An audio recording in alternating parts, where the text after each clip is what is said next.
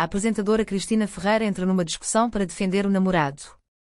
Em 26 de março de 2024, às 17 horas e 21, Cristina Ferreira defendeu o namorado, João Monteiro, após as críticas de Teresa Guilherme em relação às palavras do tenista.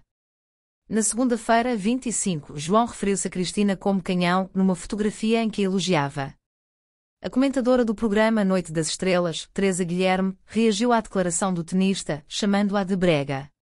Eu não acho minimamente que seja um elogio, acho uma coisa brega. Desculpem lá, eu morria se alguém me dissesse que eu era um canhão, que eu não sou, acho que é uma coisa nada carinhosa, super masculina, acho que ela merece elogios muito mais floridos, disse Teresa no programa da CMTV. Cristina Ferreira recorreu ao Instagram para responder em tom de brincadeira, podem chamar-me canhão à vontade, escreveu na legenda de uma série de fotografias. João Monteiro também reagiu, o verdadeiro. Este não foi o único elogio de João Monteiro alvo de críticas. No Dia dos Namorados, o tenista publicou um vídeo em que chamava Cristina de padeira. Bora, padeira! Vamos! Olha.